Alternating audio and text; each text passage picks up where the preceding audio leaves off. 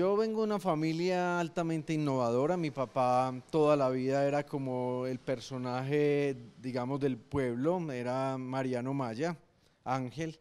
Esta persona eh, eh, estaba todo el día diseñando, haciendo, todos los ingenieros iban y le preguntaban cómo se hace un puente, era el que electrificó Paco, era el que manejaba la planta de, de energía del, municipio, era el que embobinaba, el que eh, eh, soldaba muy bien soldado, o sea, era la persona que estaba como eh, en la vanguardia haciendo, haciendo las calles de Pácora, haciendo carreteras por todas partes porque tenía bulldozer, porque era como su, su hobby ya, crear. Él estudió con la National School de Estados Unidos, se graduó con la National School de Estados Unidos en electrónica y y electricidad aplicada. A mis 15 años, ¿qué pasó? Que ahí es donde empieza como todo ya.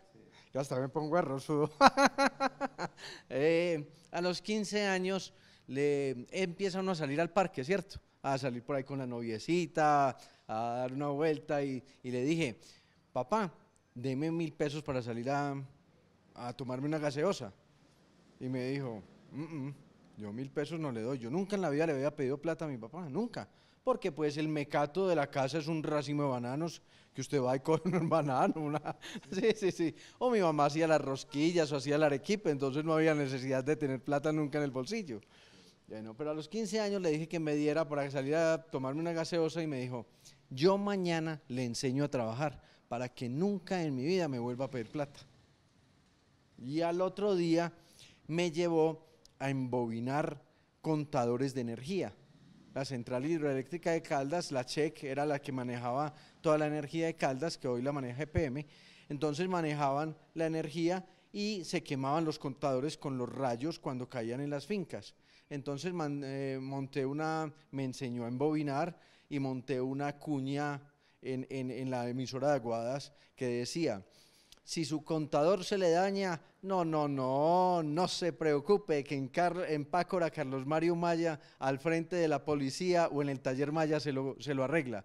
Esa era la cuña y desde eso yo nunca más le volví a pedir un peso a mi papá. Realmente yo salí de Pácora de 18 años, resulta que los, los muchachos ya cuando se gradúan de, del colegio vamos a, estudiar a cualquier parte, pues unos van hacia Caldas, hacia Manizales y otros hacia Medellín, hacia Antioquia. En ese caso yo me fui para Manizales a estudiar diseño industrial. En ese momento eh, pues empecé como la parte de, de, crear, que es diseño, y entonces todos los fines de semana me iba para Pácora a hacer mis maquetas y hacer mis desarrollos allá con, con mi familia, porque todo eso involucra a toda la familia. Y entonces todos eran esperando a ver qué es lo que va a traer Pácora, porque así era como me decían Pácora en la universidad, a ver qué es lo que va a traer Pácora para, para presentar de, de proyecto en maquetas y en todo esto.